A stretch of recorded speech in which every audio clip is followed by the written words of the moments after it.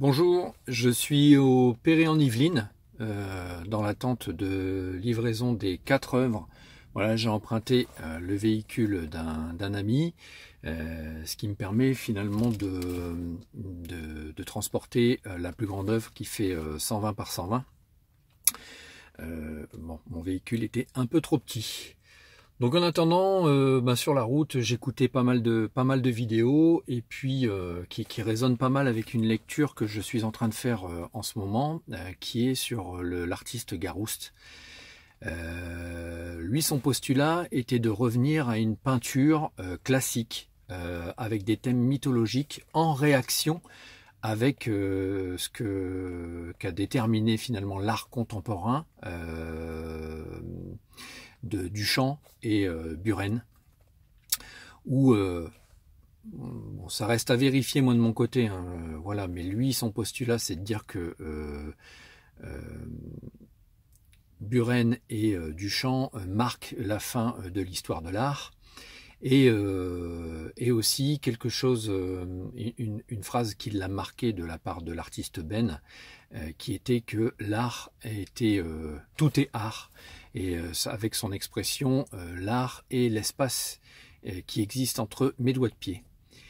Donc euh, c'est pas la première fois que j'entends justement cette, cette réflexion de tout est art et je suis assez en désaccord avec, avec cette, cette partie. En fait, je me pose quand même pas mal la question parce que euh, c'est vrai que on, peut nous, euh, en tant qu'être humain, trouver une certaine, enfin une, complète beauté en la nature et la nature au sens large. Euh, c'est vrai que à bien des égards, la nature nous montre mille beautés. Mais est-ce que ça veut dire pour autant que la nature, la nature est de l'art ou la nature est belle je ne pense pas. Euh, pour moi, la nature n'a que la seule euh, nécessité et la seule volonté de sa propre existence. Euh, il développe des formes vivantes pour perdurer. Et nous y trouvons, en tant qu'être humain, de la beauté dans ces choses-là.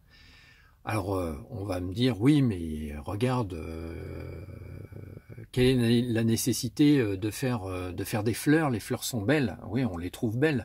Et même les insectes qui les, qui les butinent les trouvent belles, mais elles sont belles précisément pour pouvoir être pollinisées et pouvoir s'étendre. la nature ou Dieu, c'est la même chose quelque part pour moi. ne développe que des formes qui lui permettent d'exister.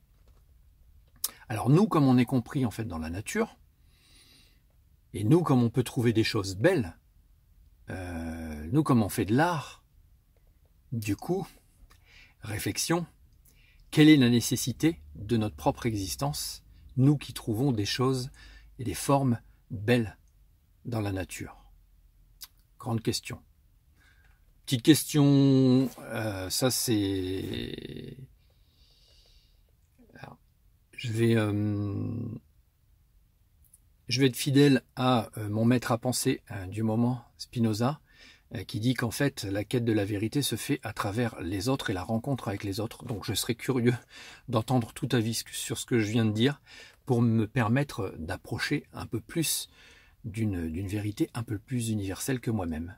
Voilà, je te dis à bientôt.